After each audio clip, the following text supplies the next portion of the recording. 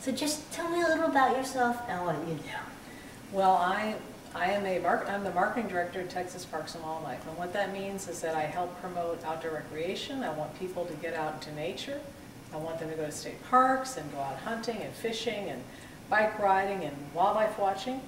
And I also want them to have an increased awareness of conservation. For example, I want them to be aware of invasive species and I want them to know what they can do to stop the spread. So um, marketing, being a marketing director is, of Texas Parks and Wildlife is like doing God's work because we actually get to do all the, all the things that we really care about.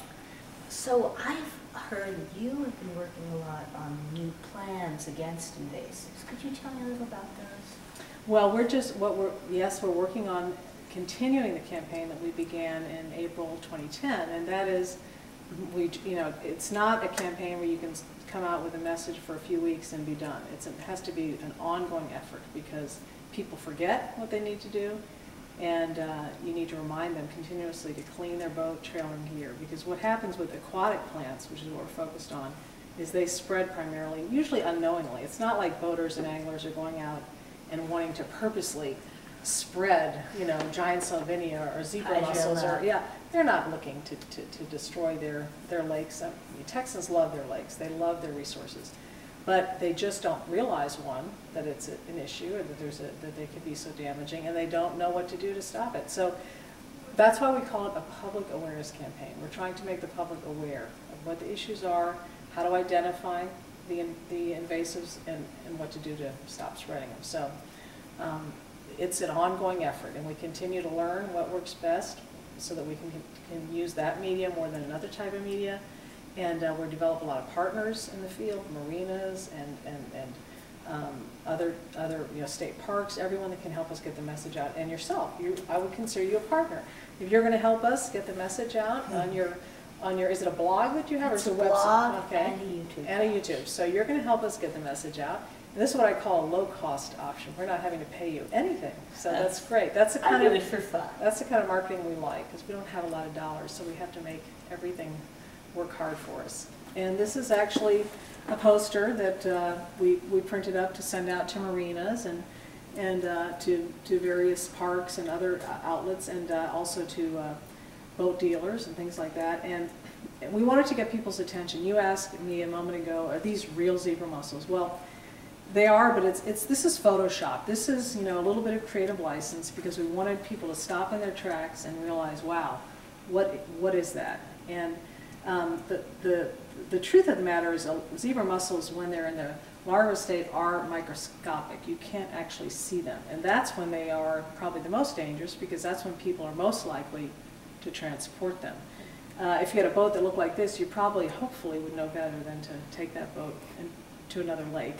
Probably pretty bad. Probably pretty bad. So the big issue is getting people to drain their live wells, clean their entire boat, use, either don't go into a, another lake for at least a week and let it dry out so that the, because if there's no water, the, the zebra mussels can't stay alive after a certain period of time, or to use hot soapy water, like 140 degrees or more, high pressure, and clean their boat, trailer, and gear of any possible uh, Now, how do you mussels. eat that water? Well, I mean, if you go to a professional, many of the professional car washes, you can get, you can, you can get the water at that temperature. It has to be a professional cleaning it. You know, some of the marinas actually have those, that equipment as well, but, um, you know, the, the real, the, the very difficult thing about zebra mussels, and here you see a little photo of it. Obviously, that's not real size, they're much, they're about the size of a dime. Um, is, as I said, when they're in the, egg- they can lay a million eggs, one, one zebra mussel. So they, again, like most invasives, they reproduce very prolifically. And, and even more challenging, they are, when they're in the egg form, they're microscopic, so you don't realize that you're carrying them with you. So if you go enjoy the lake one day, and you go out and have a lovely time, and then you hitch up your boat, and you go to the next lake within a period of time that hasn't let the zebra mussels dry out, you then can introduce that, the zebra mussel to a lake that's not infested. And once they're infested, we don't have really any good way to get rid of them. So they are really problematic. And you've been hearing a lot today in the, in the conference you've been attending here for the Texas Invasive Plant and Pest Council um, conference that, that there are, you know, all the different ways that people try to fight invasives, how expensive it is once it's established, millions and millions and millions of dollars. So we'd rather spend some money, a lot less money, you know, a couple hundred thousand getting the message out than spending millions trying to stop it and just try to even uh, control it, because you're never going to get rid of it once it spreads. So public awareness is a really important part of our initiative to fight invasives. Now, I bet people, a lot of people are wondering, how do the zebra mussels get on the boat like that? Do they grow on it, or do they connect, or? Yeah, that's a very good question. I mean, the zebra mussels, for if a boat is left in a slip for a long time, the zebra mussels do attach. They love to attach to any hard surface. So props would be a, a you know, would be a, a key area where they would, that's down in the water where they would attach.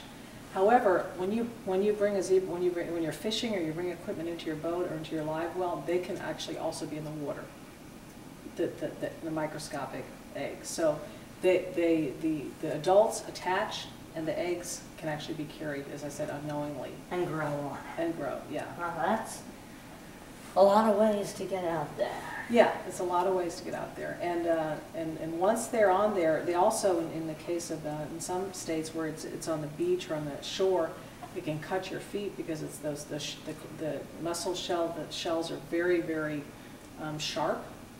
And, uh, when the mussels are, leave their shells and they're dead, they, they completely not only pollute the beach, but you- literally you can't walk on it without being, being cut. So they have, that, that is another, um, another Issue. issue, yeah. And, um, you know, the the other thing that they do is they, as I mentioned, I think in my presentation, they clog water pipes. Yes. So that is a really major concern.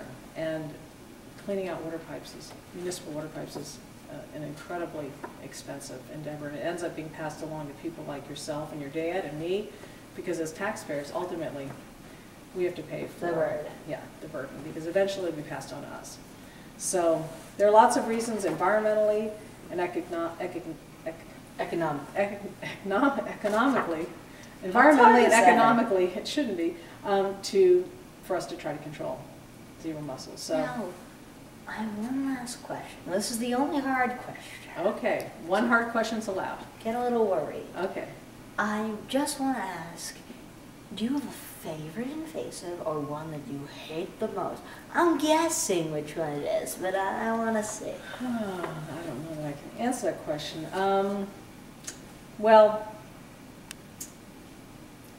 I don't have, a- I don't, I honestly don't have a favorite. I hate them all with equal passion, so, uh, yeah, I hate them all. Now, one that you, to be one that's really causing a lot of trouble. You really, well, I'll just say the zebra mussel, that way you'll be satisfied. So Yes. I'll say the zebra mussel. Okay? Thank you very much. Thank you. Very Now good. Thank you, thank you.